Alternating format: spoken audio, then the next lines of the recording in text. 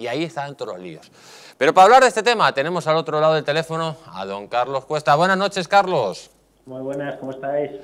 Muy bien, Carlos. Lo cierto es que Cataluña Suma es un inicio bastante bueno, pero la señora Rimada se queda corta a no querer incorporar otros partidos, a todos los partidos que quieran defender la unidad de España, ¿no?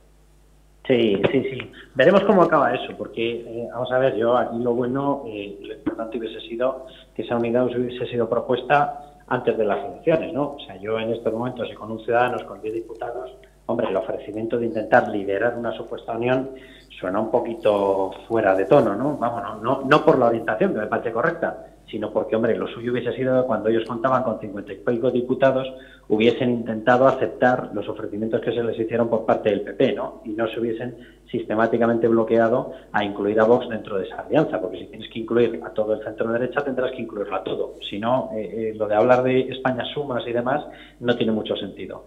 Entonces, que ahora en estos momentos se esté planteando, cuando ellos ya se han quedado en 10 diputados, hombre, suena a estrategia un poco de quiero peso, quiero influencia, porque la he perdido. Entonces, hombre, lo bueno es que se empieza a pensar con un poquito de generosidad en esta historia. De todas formas, yo, vamos a ver, aquí eh, el tipo de uniones que se tienen que hacer tienen que empezar, yo creo que por no tirarse los trastos en determinados gobiernos. Ciudadanos ha estado sistemáticamente vetando la presencia de Vox. Es decir, cada vez que se tenían que reunir, le hemos visto en escenas un tanto extrañas, por decirlo de alguna manera, en el que no aceptaban tomarse un café, como si fuese la gente de Vox una sarta de tiernados, ¿no? O sea, no, no lo aceptamos es que nosotros no nos podemos reunir con la extrema derecha, adoptando el propio discurso, sé que en la etapa de Andrés Rivera y no en la etapa actual, pero adoptando el discurso que el mismo, literalmente, que estaba utilizando la extrema izquierda en ese momento, o la izquierda de Pedro Sánchez, que en el caso es una izquierda radical. Entonces yo creo que si de veras quieren tener credibilidad en esa nueva función que pretenden hacer de liderazgo de una unión de partidos, la tienen que hacer amplia, la tienen que hacer con todos, la tienen que hacer a tiempo y la tienen que sostener en el tiempo. Carlos, porque además estamos en un estado límite para el, para el país, ¿no? O sea, Rimadas coge una bandera que era de Cayetana, Álvarez de Toledo, que, propuso, fue ella la primera que lo propuso, pero ¿cómo es posible, teniendo el país como lo tenemos, al borde del precipicio, que todavía los partidos de la oposición no sean capaces de dejar sus diferencias, de salvar primero la nación y luego discutir? ¿Qué es lo que pasa en esta oposición? Que, tiene Pedro Sánchez enfrente? ¿Que, ¿Que no se entera de lo que está pasando? De todas formas, la, unión de los partidos al final, y, yo sé que esto es difícil de explicarlo, pero a ver, los partidos al final no dejan de ser eh, una colección de personas que cada uno tiene su hueco de poder. Entonces, eh, la cercanía o el entendimiento o la simpatía incluso eh, que se sienten entre ellos Pablo Casado y, y Santiago Abascal es una.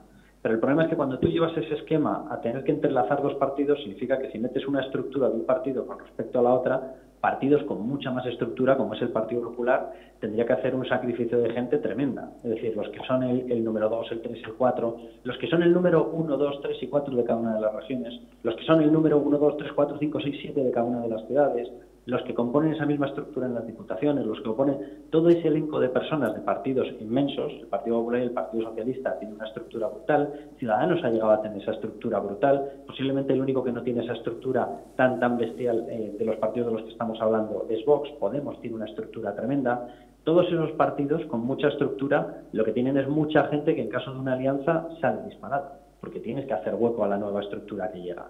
Entonces, eh, al final ese tipo de alianzas entre partidos es muy complicado que existan, muy complicado, porque la propia estructura de uno de los partidos se niega, porque significa que empiezas a caer en cascada. O sea, lo de las uniones de partidos yo, yo sé que sería un objetivo sano y sé que desde luego ayudaría. Y luego hay un segundo problema. Vamos a ver, el hecho de que el Partido Popular haya tenido determinados casos de corrupción, que haya tenido determinado descrédito en el pasado por pactar con el nacionalismo de una forma eh, más que llamativa, el hecho de que haya tenido eh, subidas de impuestos, o haya aprobado subidas de impuestos en época de Montoro, etcétera, le ha provocado un descrédito. Entonces, eh, esa historia de que tú sumas dos partidos y sale exactamente la suma de los votos que tienen no es real.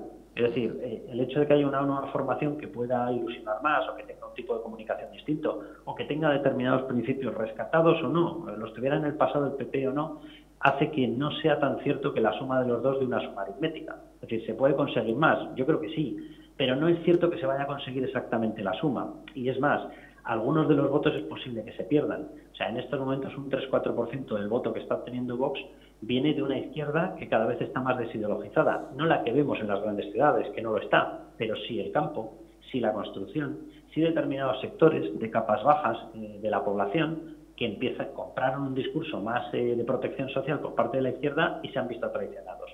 Y ese discurso, por ejemplo, sí que les puede llevar a verse más identificados con un partido que tiene mucha penetración en el entorno rural como es Vox. Entonces, vamos a ver, eh, por ejemplo, y en la dirección contraria ocurre lo mismo con un PP que se puede acercar más a un centro izquierda de lo que puede estar ocurriendo, sin embargo, con Vox.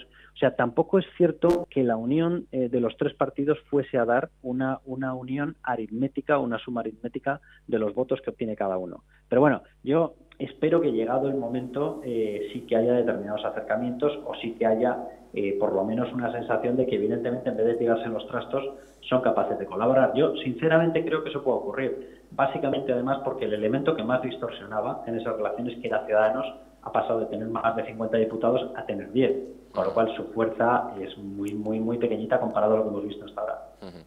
Carlos, pues muchísimas gracias por haber estado con nosotros en el Mundo al Rojo. Te vemos mañana a las 10 aquí en Distrito Televisión con España Cuestas. Un fuerte abrazo. Fenómeno, un abrazo.